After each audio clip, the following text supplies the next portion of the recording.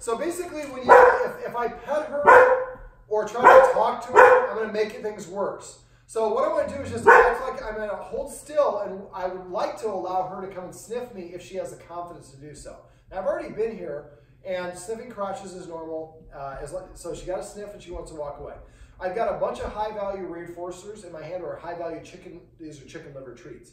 So what, I like how she's sitting on her butt. Uh, so what I'm going to do is I'm going to take a step in and drop a treat drop a treat, drop a treat. I'm not saying anything to her. Just every other step I'm taking, I'm dropping a treat. I'm gonna come and sit over here, just film her.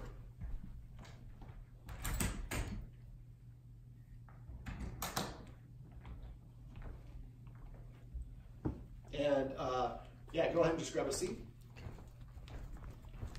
Now, did she take any of the treats? Yeah, she picked up a few. Did she stop taking them here? Yeah, right there might be the last. Okay. All right, so let's come back to me. So basically what you want to do is give your guest, I would give them about seven or eight treats and have them just drop one every other step um, as they come in and have them come and sit down. Now, uh, when uh, for whoever the human is who lives here, if she, if she misses one, just tap your foot next to the treat so she gets them. After you've done this a couple times, she'll know, oh, there's gonna be treats on the floor. And so what we're trying to do is build an association. When somebody comes in, treats fall from the sky. I had it all wrong. People are actually good. Visitors are good, not bad. So what we want to do is we want to, and the person should not look at her, not talk to her, certainly not try to pet her, ignore her. Now, eventually what's going to happen is she gets more confident. She's going to start approaching. You film her now and see how she's a little bit, she's pausing right there. She's a little bit stiff and she didn't feel comfortable coming any closer. So if I ask her to come or I do things like that, then that's going to cause her, yeah, and come back to me. Um, it's going to cause her to get a little confused. And if we pet her when she's nervous like this, which a lot of people do, we're going to make it worse. Now, once she kind of calms down settles down, and if she approaches the person, they're going to hold their hand out to the side like this, and don't look at her. And I wouldn't even say anything. And see I'm holding my hand still? After that, she came back and sniffed a second time. Now she's lingering. I've been here for a while, so she's behaving better probably for me than she will for other guests at first. But after a while, she'll feel more comfortable. Now she's seeing that there's treats over. She's coming to get the extra treats. But again, it's a positive reinforcer. We're helping her feel good about it. Now, um, uh, when we do this, the other thing we can do is if she, if somebody's going to be here for a long time, one of the great things you can do is take your dog for a walk with the person. Dogs literally process things by moving forward. If I have a dog fearful of thunderstorms, I tell people put on a, a, raincoat and take your dog out for a half an hour walk in the, in the rain. For a minute or two, they won't like it, but after a while, they're like, oh yeah. So now she's seated and she's kind of off, uh, off to the side of the room. So I'm just going to offer a treat. I'm not telling her to come. I'm just making it available sideways, and she gets to come in her own volition. Now, as a behavior or training reinforcer, I would like to say the word COME, but I'm not saying that because I think that'll spook her. You just want her have her approaching the guest, feel comfortable approaching the guest and walking away. Now, if she won't, if she stays like in her old chair, just an inside joke. But if she sit like so, uh, can you uh, craftily can uh, get up, keep me in the shop, but walk around and walk back towards uh, the closet next to your fridge, so you can kind of see us both. There you go. Can you see us both? Whatever mm -hmm. distance you need. So now, if she won't come to the person, the person holds out the treat to the side and she won't come, well, there we go. She's coming now. But she's going to take this and probably walk away. So what you would want to do is a little bit of what I did her earlier off camera is help her practice approaching the person. Got hair in my mouth. Um, so what I want to do is, if she won't come to me, I'm going to throw a treat halfway distance between her and me and let her take it. And we want to let her take it and walk away. So we're again not going to give her eye contact and we're not going to talk to her. We just want to create a positive association. Normally, she's not going to linger like this. This is what she'll do once she starts getting more familiar, more comfortable. This is what we'd like to see, but this is because I've done a lot of other work with her. So, and then let's say she's further away. Again, I toss it there, let her approach it. And uh, I don't know if she's doing it right now. She's not doing it right now, but if you see her leaning, like her, this is her leg, and she's leaning away, that's her indication that I don't feel comfortable yet because I want to try to keep one foot as far away from the person as possible. So this person should keep on tossing the treats like this until she walks up and lingers like she did there, and her feet are underneath her and not behind her. So uh, now we can use the dog bed and throw it there. There you go. And we're not going to assign anything. We just want her approach and walk away. Now, eventually, when she seems more comfortable, she's not breathing heavy, and she seems more relaxed, we want to do this. We toss one there, and then the guest is going to hold the treat here. So you want to toss and then put your hand here right away and just have them hold still. Make sure they don't move at all and nobody else in the room. If she's coming to take the treat from me and somebody over there drops something really loud, she might think that she gets startled and that she'll think it came from me.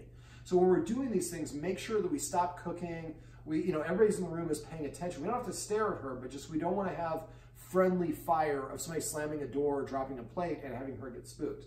So the idea is to help her practice approaching the person and walking away with her own volition until she feels comfortable. And if she sits or lies down, that's another good indicator. Uh, they, and uh, can, they can give an offer another treat. Now these are little, this is from PetSafe. This is a little treat pouch. I can actually open it up. It stays open, and I can clip it to my belt. And then when I close it, nothing's going to come out. So what you might want to do is get one of these, and every time a guest comes in, fill it up full of the, these high-value Tricky Trainer treats I'm to live here with you, and give this to the guest. Now the guest smells like the delicious treats that I get it from time to time. This guest might be able to pay me off at any time, so I better be on good behavior with this guest. And then every, and that way the guests, whenever they feel like it, they just reach over here, grab one. But again, no command. That's an important stipulation. And no good dog or good girl or anything. And what you'll see is she'll start lingering longer and longer periods like she is right there. And make sure they always hold their hand out and hold it still. Um, now, eventually, if you can ask her to sit, see how she sat kind of far away from me. That's another indicator I don't feel comfortable. When she sits or lies down, if she sits or lies down, she's probably going to sit facing the person. When she starts sitting sideways, you're making progress. If she sits sideways or lays down and puts her back to the person, that's a really good sign of trust. So if she does, she's doing that sort of thing, that's a good indicator you're making progress and going down the right, right path. Um, now, one little bonus is what I would, one of the tricks I talked to you guys off camera about teaching a new trick or command. One of the tricks I would teach her is how to catch. The, the reason I like the catch is now she's lingering. I love this. Yeah, can we get another one? But she's comfortable with me because I've been here for two and a half hours a guest is not going to be able to achieve this. She's going to take the treat, and she's going to run away. She's going to do that over and over. Well, eventually what we want to do is if you can teach her to catch, I'll show you how in a second, or I'll tell you how. Um, the guest can come over and say, sit. And if she knew how to catch, then I could throw the treat, and she catches it. Now she gets to engage with the guest at a distance that she feels comfortable with. And eventually she'll sit closer and closer and closer. But now the guest is playing a game with her. It's fun. She doesn't have to have any contact. It can be done sideways.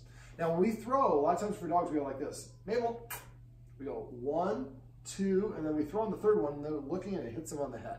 So when you throw it, you want to just throw one toss and try to make it such a good toss. What a great dog you are being. Uh, such a great toss that all she has to do is open her mouth and it falls in her mouth.